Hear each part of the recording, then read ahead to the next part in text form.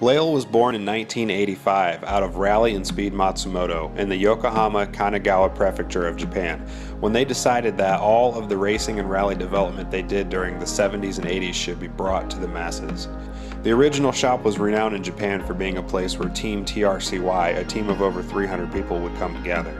From that point forward, the birth of Laile was legendary. The pure meaning of Laile is a French derivative defined as wing, with meaning of the desire to fly away without limits. Beatrush, a street parts brand of Laile which uses the technology and engineering learned through years of motorsports, is true to what you come to expect of a top shelf Japanese performance company. The JDM racing heritage shows through in each Beatrush part by means of attention to quality, detail, and overall performance. Alright, so today we are going to install Beatrush engine mounts in the 2016 STI. Yeah, check these out. Oh, these are sick. Now these are super, super solid. Um, definitely gonna have more of a race car feel. You're really gonna feel all that vibration come through. So you guys ready to snap into some engine mounts? Oh yeah! And while I'm in there, ta-da! Beatrush transmission mount. Ooh, look at this. That's nice. Oh yeah, look at all that. Beautiful, beautiful welds here. Nice uh, stiff polymer bushing. This thing is gonna be super solid. So the reason we're doing this is because I have the Beatrush pitch stop mount. Uh, the way that the drivetrain is mounted to the STI is it's basically a three-tier system. You've got a pitch stop, engine mounts, and transmission mount.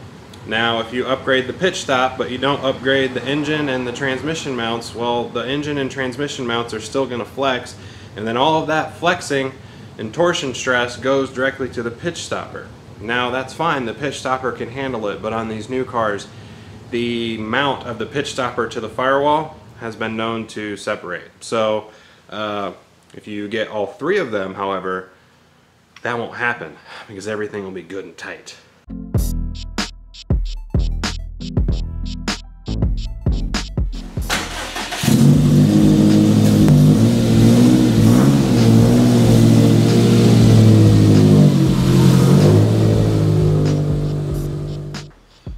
So the first thing we got to do, we have to take off the Beatrush uh, top strut brace and the GrimmSpeed top mount intercooler because we have to access the pitch stop behind it because we're going to be moving the motor up and down we don't want that pitch stop to still be connected and put additional stress on the already weak mount on the firewall from Subaru.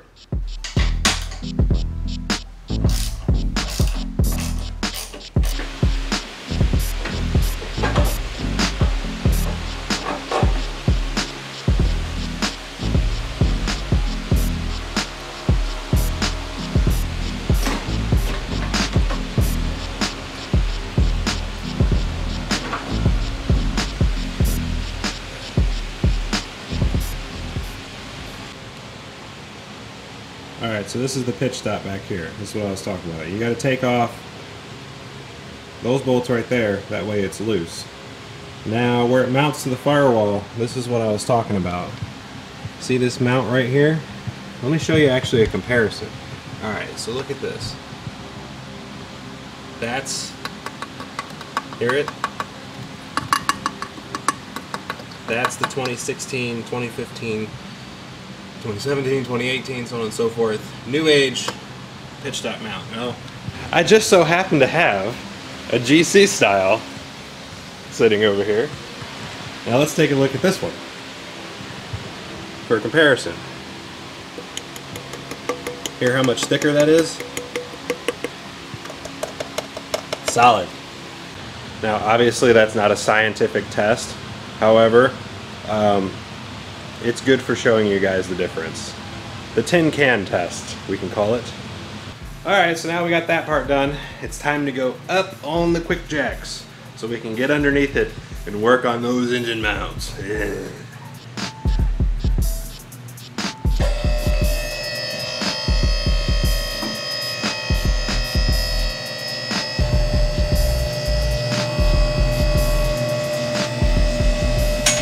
You'll notice over here We've got the B&M Performance Fab equal length header called Medusa. yeah, that had to come off.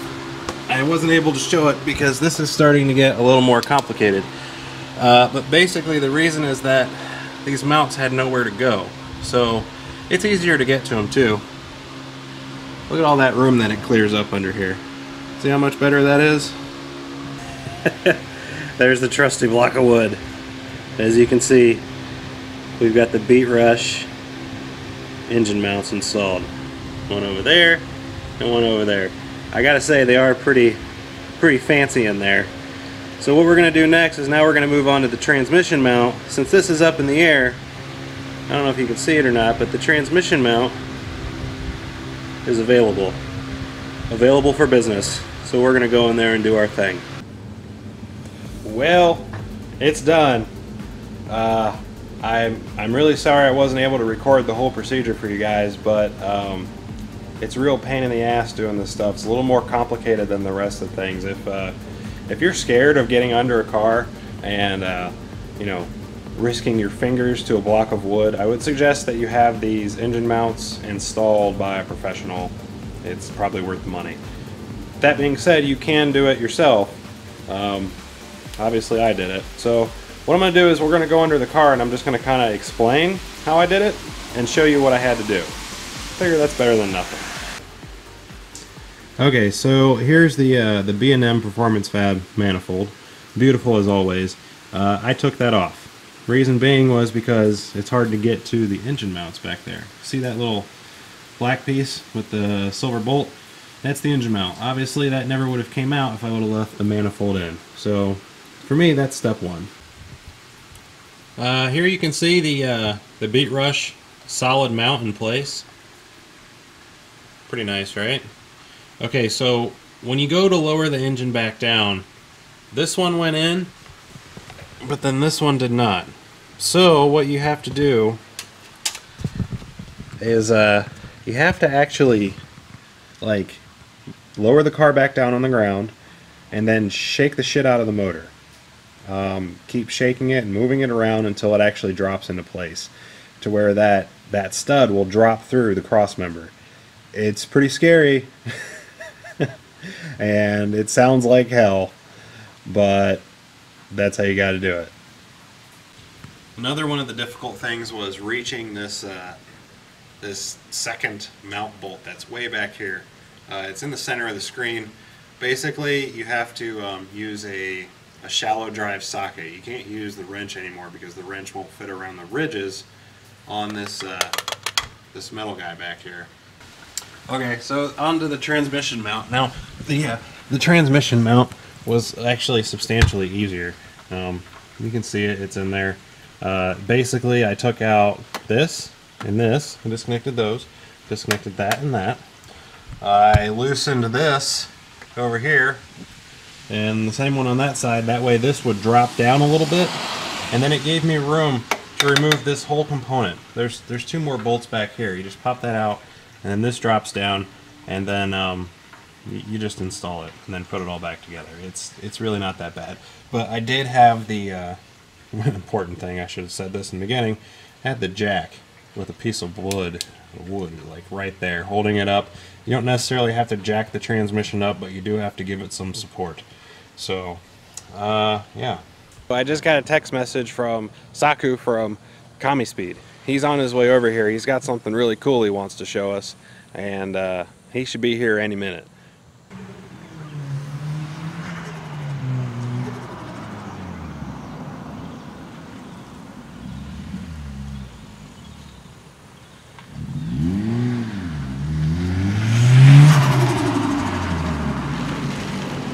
Ah, there he is. You guys remember this car? We filmed it a while back. Oh yeah. It's got boost! Hey, Michael. Hey, what's up, brother? Hey, what's up, man? So you got some cool stuff to show us today. Yeah. I got some cool stuff. Let me bring it in, and we can check it out. Oh yeah. All right, guys. So what we're gonna do today, we have the battle of the Asian Snap-on versus DeWalt impacts. Mine is made in Korea. This one's made in Taiwan. In Taiwan. And what we're gonna do is we're gonna put them together and we're gonna see who wins. Are you ready? I'm ready.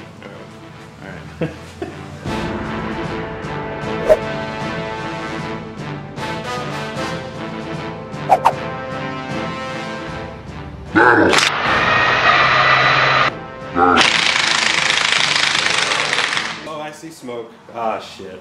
I think we broke it. All right, so uh, upon closer examination, we may have actually discovered a winner.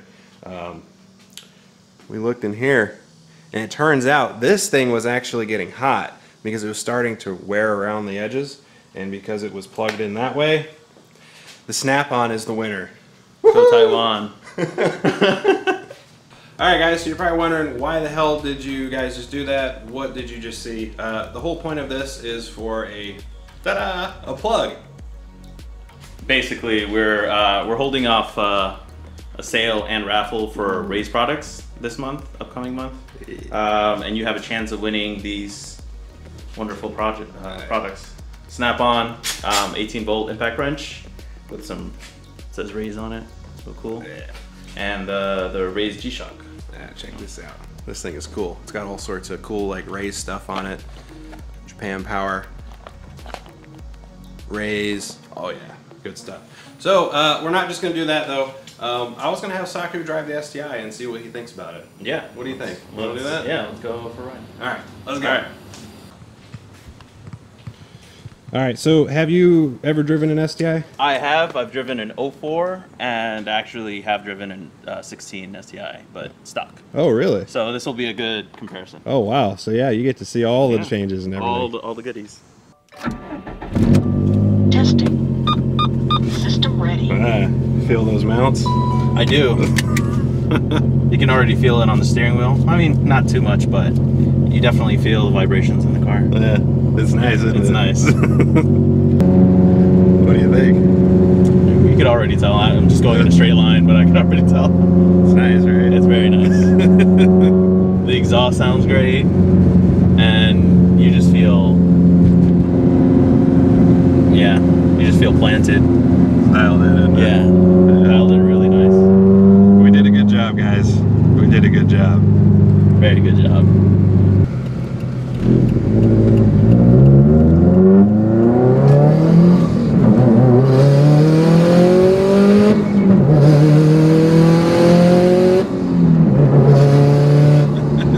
It just feels great. You like that, right? Yeah, it feels great, yeah. Sounds great. You actually, the car stays very centered Yeah. throughout the acceleration. You don't feel like you're losing control at any point. Oh, Feels very good. wow. Coilovers, uh, all the Beatrush products, uh, all those uh, bushings and bracings you have for the uh, transmission, the diff. You can actually just feel everything engaging in time, Yeah. like It's when you need it to.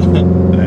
Yeah. So would you say that we have done a good job of Very good bringing job. this up to like uh, Very good job. what you consider like a, a JDM spec type vehicle? Yes. Where Yes. it's that nice balance. It's not obnoxious. It's like dialed in. I would say this is uh, probably close to uh, S207 is Yeah. where they're at right now. Something like that. That's awesome. All right. So now that you've driven it, what's your uh, your consensus on the uh, Uh, Boostaholics STI? basically took a great car and just improved on it in Yeah. every single way. I, I honestly, I, I can't see any drawbacks. Someone might complain the exhaust is too loud, but they're Yeah. just being a big baby. Yeah. it sounds awesome. Uh, it drives great. It handles great. Um, power is instant. Yeah. Uh, you can daily it. It's comfortable. Uh, AC works. Yeah. Everything works. I mean, That's a positive, Yeah, I mean, there's no, there's no drawbacks, honestly. Oh, that's awesome. I, I would say you did a very, very good job. Ah, building that's it. awesome. Thanks, brother. Yeah. well, I couldn't have done it without you guys. You know, you guys and RevWorks and MTune. Of course. You know, you guys really helped me pick out a lot of really good parts, and uh, I think it all kind of came together that way. And I'm really happy with the car. So that's the STI. The only thing left is I have some uh, a big brake kit to put on, um, and other than that, I'm pretty much done with this car. I, I don't think there's really anything else that I could do to it, performance or aesthetically wise. I mean, maybe I could put some carbon fiber stuff on it. I don't know. What do you guys think? You think we should be done with the STI and uh, focus on the GC, or do you think we should do some more stuff on it? I don't know. Let me know. Comment below. Hope you had fun watching this. And as always, Run more boost than tire pressure. Yes.